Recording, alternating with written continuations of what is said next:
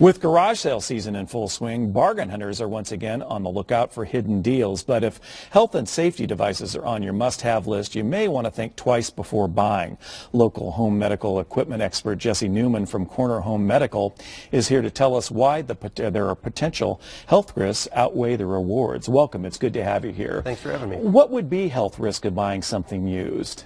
Well, depending on how well a piece of equipment is maintained or cared for, sanitized, um, you could potentially pick up infections, bed bugs, or even cockroaches. And when it comes to the safety and health of your family, you can never be too careful. You brought in some things uh, that are very commonly bought in some of these sales. Let's begin first with the CPAP machine, which helps people breathe. Correct. Uh, CPAPs and uh, BiPAPs can be very appealing to buy used at a garage sale They're or costly. online.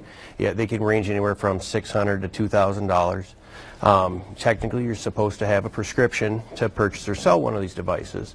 Um, however, recently the University of Minnesota just uh, um, released a study and discovered that while used CPAPs and BiPAPs are less expensive, they're also less effective because people aren't trained how to properly use them and they're not set for that individual.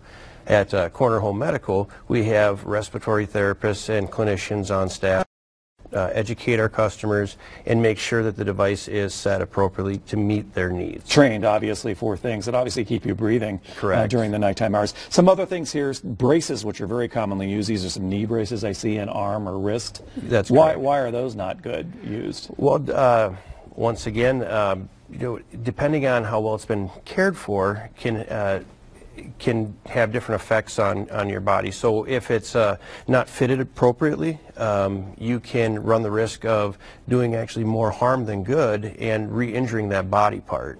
So the elasticity, obviously the different tensions, those things are, uh, uh, those are targeted toward things clearly. Correct. You right. know, the, the, strength wears out and uh, they just become not useful. All right. Uh, braces, we talk, open system breast pumps. Yes, so breast pumps can, uh, buying a used breast pump can save a mom or family's money. However, um, you want to make sure you identify if it's an open or closed What's system. What's open mean? So an open system, the device doesn't have a barrier to prevent the milk from entering the device itself. And once it's in there, it's almost impossible to clean or sanitize, opening up the mom for infection.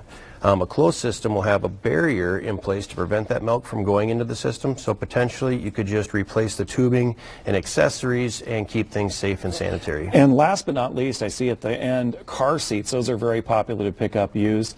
Not such a good idea. No, sir. Um, you know, as most parents know, including myself, car seats can be very expensive. Sure. Um, even if you find a really uh, nice one at a garage sale, you still don't know the history of it. So it could have potentially been in an accident, which would compromise the integrity of the, the car seat. Um, it might be missing pieces, which would make it almost impossible to install appropriately. Um, and uh, remember, car seats have an expiration date. Usually it's around six years, and that's to ensure that parents are using seats that are up to date in the current safety standards. And it's your most precious cargo, so it's expensive. It's worth every cent of that. Thank you. This is very instructive today. A lot of good information here. Appreciate it. We have more information for you posted online at KARE11.com. Look into the local tab and the news at 4.